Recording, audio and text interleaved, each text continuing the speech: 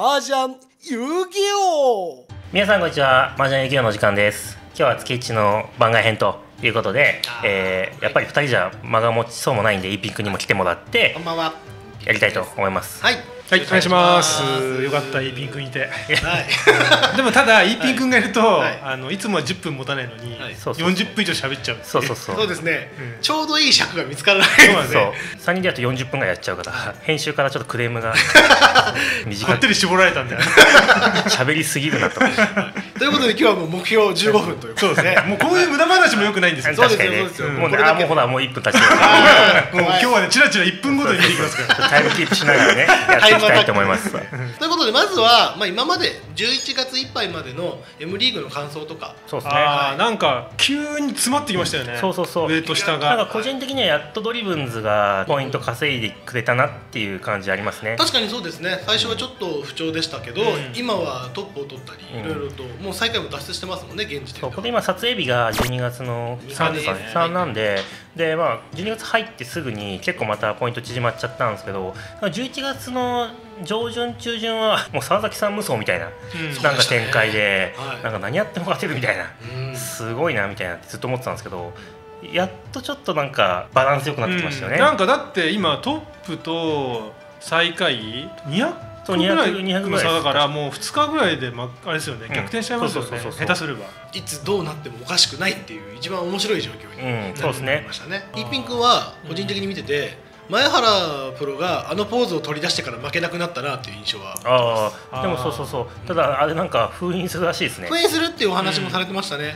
うん。ね個人的には残念だなと思いますけど、うん。いろいろあると思うんで大人の事情もまあ、そうですね。確かにあれが良くないっていうよりその同卓者が終わったら笑っちゃうっていうか、うんうん。最下位取ってやっぱ笑いたくないし、そうですね確かに。うんなんかあれをやられてどうしても笑いをこらえるのが必死でポーズに対してのクレームというよりは、まあシーンとしてる中でなんかちょっとこうやられたら、うん。まあ確かにちょっとクスっていっちゃう部分あるかもしれないですもんね。なんかお葬式で笑っちゃうみたいなこと。ですね。あそうそう。簡単にうんなんかこうそうですね。不謹慎になりかねんっていうことですよね。確かにその例えが一番わかりやすい。に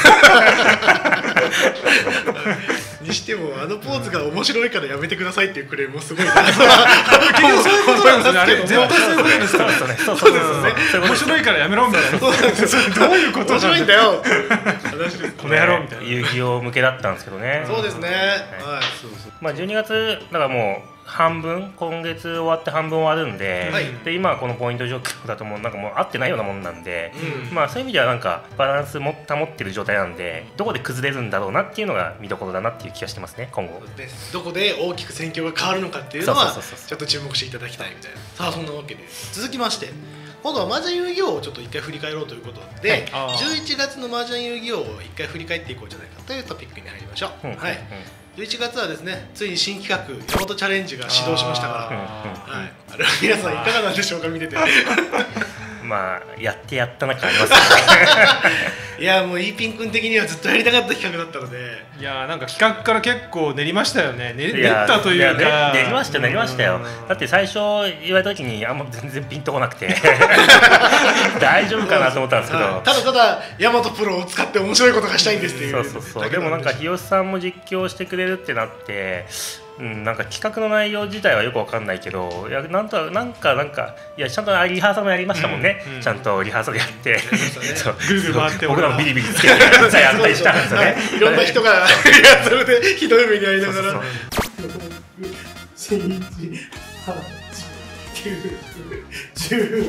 はい、まあ、はい、OK です。は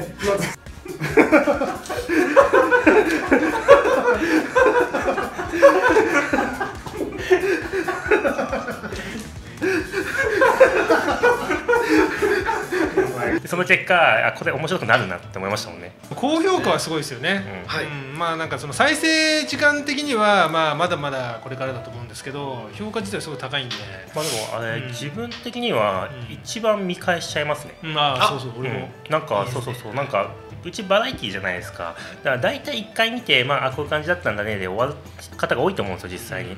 でもあれはなんか何回か見ちゃうんですよね。あの達也さんクイズばりに見ちゃうんですよ、ああそうね。そう。初期のクイズの。なんかね。どこ見返してもね、うん。面白みが詰まってますから、そうまあね一体いくつあるのか、うん。あれですけど。そうですね、全何回か伏せてままあそこはちょっと言えませんけど。まあ、11月はそういう意味でもちょっとこう仕込みになんか時間使ったなっていう気がしますね。そう確かにそうで12月は、あのこの流れで大和チャレンジが、まあ、何回かまだあるんですよ。ただ12月で一旦全部出し切ります。出し切ります。それは言っときます。大和チャレンジ2019ですからね。そうあそうそうそうそう。はい2019年中に終わらまたがないと。あの2020はちゃんとスポンサーをつけて。つつけたいな。けたいな。うん。つけたいな。予算がないともっとすごいチャレンジできないもん。そうですね、もしもしあれですね大和証券 M リーグと同じように大和証券さんがスポンサーついてくれたら、大和証券大和チャレンジがやります。確かにねちょっと提案いきましょうか、あのぐるぐるも本当はね自動のぐるぐるにしたいですもんね。そうですよね。スポンサーがつけば、はい。はい。うん。専用の。今まで手動で細田さんが回してましたから。専用のぐるぐるなりきりマシンをぜひ作りたいです、よで12月あとその麻雀遊戯バーの方は、はい。えー宮内さんと泉さんのやつが残りのやつ出るのと、はい。でその後の、えー、収録も終わってます、うんでこれは誰がゲストか今隠してるんですよね。あそうですね。そう。結構大物の方が実は来ていただきまして、うんかなり貴重なお話を聞けたんですけど、年末に向けたちょっとしたドッキリっていうのもあって、そうですね。ちょっと隠してるとあえて、うん。なんでこれはもう発表というか公開をお楽しみにと、はい楽しみももちろん12していただきたい月中に全部出ますんで、はい。はい。マジン遊戯バーは本当にビッグネームの方もいっぱい出てきてくれてますからね、そうですね。そうですね。うん。であとまだそう意外もうこれもなんか別に隠したわけじゃないですけどあの水原さんとのコラボが。そうですね。面白かったですねすごく、ん。面白かったですねすごい面白かったですね。やっぱあの癒されますよね。うん。されますそしてやっぱりパイレーツらしさがすごくありました、うん。ん。まあパイレーツで一番バラエティー向きでしたね。そうそうよくしゃべねよくしゃべれる。人で喋喋ってくれるれる。方で、はい。引っ張ってくれるんだろうなパイレーツをっていう。はい。ハキハキしてた。そうですね。パイレーツの中で一番ハキハキしてる子だった。されてました本当に。はい、まあ、なので、まあ、ちょっとしたあのちっちゃい企画もあるんですけど、まあ、大きくは大和チャレンジ、水原さんとのコラボ、えー、遊戯バーという感じですね、であとは本当にちょっと細かなやつは何本かありますと、はい。はい、っていう感じですね12月は、はい、そして年末年始に向かっていくということでそうですね。皆様お楽しみください、年末年始もちょっとしたドッキリというか、そうですね。そうびっくりというか、はいまあ、あるかもしれないと、はい、はい。ずーっとドッキリさせ続けてますね。あ刺激的刺激的ですよやっぱり、うん。ーまああと実現まあできるかどうかちょっとわかんないですけど、はい。一応あのサイバーエージェントの藤田社長と、はい。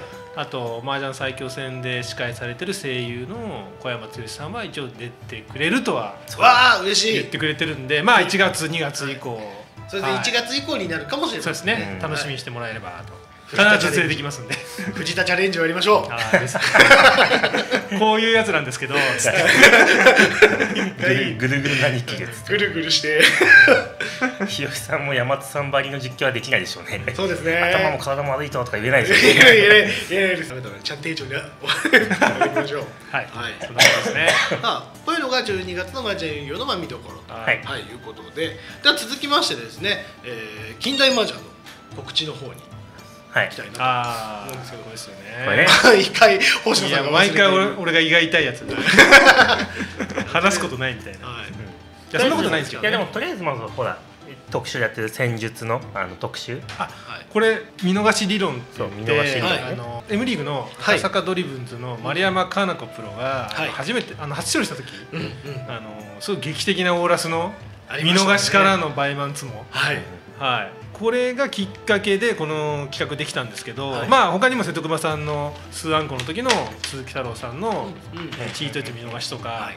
要するに見逃しっていうのは要するにミスではない。まあそうそうそうそうミスじゃなくて、あのちゃんと損か得かみたいな、うん、そこをね徹底的にちょっとあの理論立ててあの説明してるっていう。いや。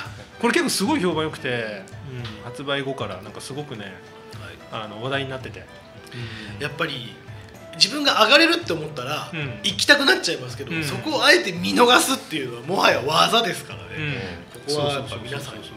わりかしね多いんですよ。そういう場面が見逃しする場面って結構実はあって、はい。みんな普通の人はもう全然上がっちゃうんですけど、うん。上がんないのが得だよみたいな場面もすごくあって、うん、これ読むとそれがすごく分かりやすく説明してあるんで、うんはい。あの意外とこの理論というか戦術は多分今までこんな風に特集したことないんじゃないかなっていう、うん。初めてかもしれないです。僕あんま見たことないです。ねなるほど。この手の、うん。まあ、それがちょっと話題になってるのかなと思いますね。それだけ読むだけでも価値あるかなみたいな、はい。で小冊子が最強戦でこれは出たシーンなんですかね。プロフェッショナルの選択22と。そうです。あのまあ簡単に言うとその、えー一流プロの名手みたいな、はいはい、うん。あのーすごい一打があって、はい。でそれに関して本人がどういう気持ちで意思意思を持って打ったか、でその戦術のはい説明してあるかなという、うん、あの一応戦術本ににもなるというか。なるほど。これを読むとまあ麻雀も上達すると、うん。うん。うん、でこれね一番最後にね、まさかの文吾さんが。おや！文吾さんが。急に文吾さんどうしたんですか？これはね忖度ですね。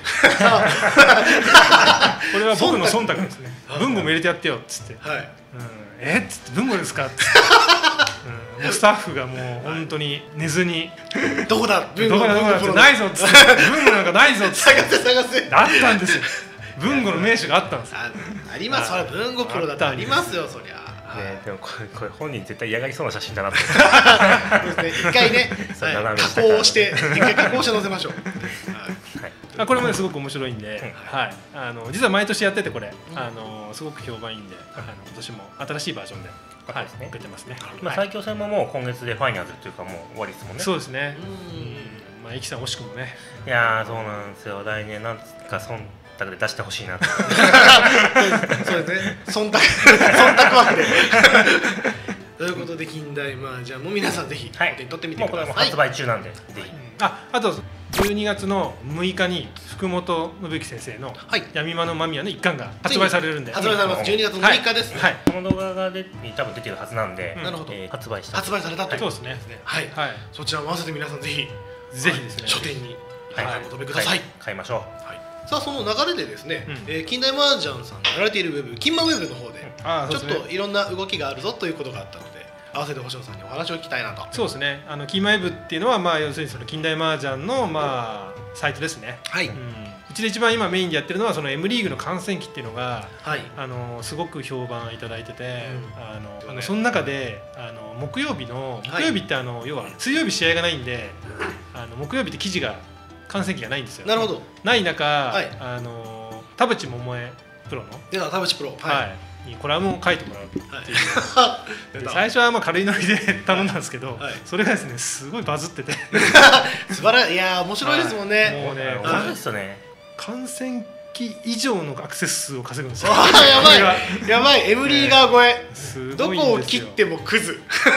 本当に麻雀の話全く出てこないですかね。出てこないです。大体1話2話ぐらい先までもうもらってるんですけど、はい。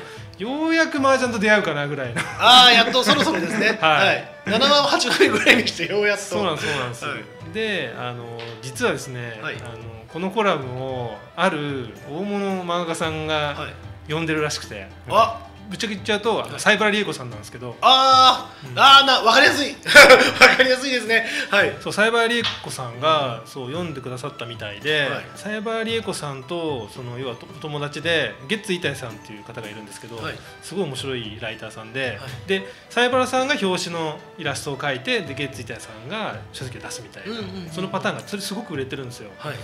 うまくいけばはいそういう形で出た！なるんじゃないかな。書籍化できるんじゃないのかなって書籍化ことでのまずは、はい。近代麻雀で新連載を始めようかなみたいな。ででタイトルとイラストをはい。サイバラさんにお願いしようかなみたいな、なるほど。はいでそれ本人に全く言ってないんですよまだ。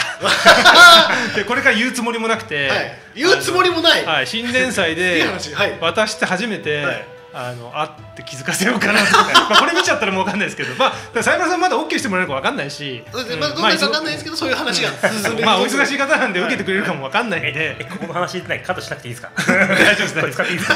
大丈夫ですね。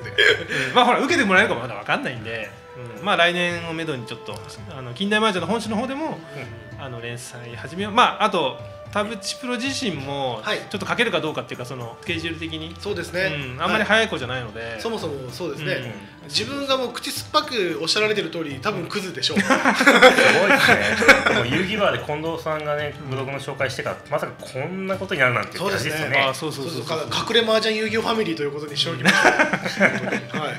いやだからちょっと今後もなんか面白い展開になればいいかなっていう、うんうん。うん。まさかのねスターがそうです 誕生する瞬間を目の当たりするかもしれないんで、はい。あの皆さん田淵桃江のブログ、クズコラム。クズコラム。ヒンマウェブではい。絶賛毎週木曜深夜0時にアップしてますそうですね。なん深夜0時に毎回アップするっていうのもすごいな。あの時間帯だったらなんか多少の内容でもなんかみんななんか面白がってくれるかなみたいな。夜中だから。大丈夫でしょっていう。酔っ払ってる状態で読んでほしいなみたいな MD も終わってね。あそうそうそうそうそうはい楽しみに。そちらの進展もお楽しみくださいということでございます。ははい。い、ということでいろいろ含めまして盛りだくさんの11月そして12月になりますので皆さんも引き続き動画のご視聴よろしくお願いいたします。ははい。い、さあ何分？ドン。よし。よし。ほら来たじゃあ終わりましょう。ということで今日はここまで。はいまたねー